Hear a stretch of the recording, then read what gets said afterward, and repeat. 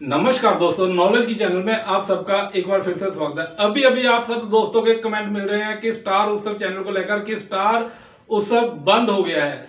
जी हाँ दोस्तों, ये आप सभी के कमेंट आ रहे हैं। इसी पर हम आपसे बातचीत करने इसी टाइम आए हैं इमरजेंसी में कि आपको इसका हल बताएँ क्या इसका हल है।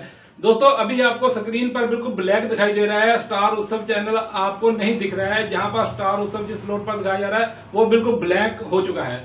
यहाँ पर आपको बिल्कुल घबराने की ज़रूरत नहीं है। हम साफ़ आपसे कह रहे हैं, बिल्कुल घबराइए नहीं, ये बंद नहीं हुआ है। हम एक बार फिर कह रहे हैं, ये बंद नहीं हुआ है।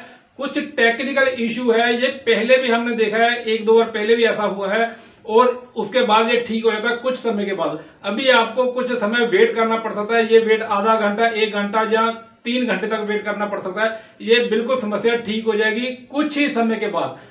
कुछ लोग अभी लिख रहे हैं, कुछ मैंने ये भी देखा है, दोस्तों के कमेंट में देखा है कि स्टार उत्सव को बंद कर दिया गया है। यहाँ पर हम आपसे बिल्कुल साफ़ और क्लियर शब्दों में कह रहे हैं स्टार उत्सव जो चैनल है, हमारे सीरियल का चैनल देखने को मिल रहा है, ये बंद नहीं हुआ है।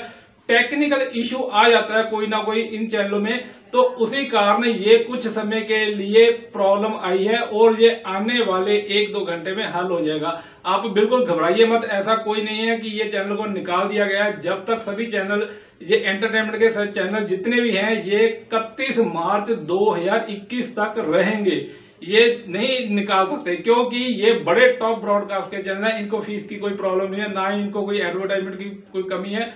तो अब ये कहीं नहीं जाएँगे। थोड़ा सा धैर्य बनाए रखिए और 20-25 मिनट या एक घंटा, दो घंटे, तीन घंटे तक वेट कीजिए जब बिल्कुल ठीक हो जाएगा।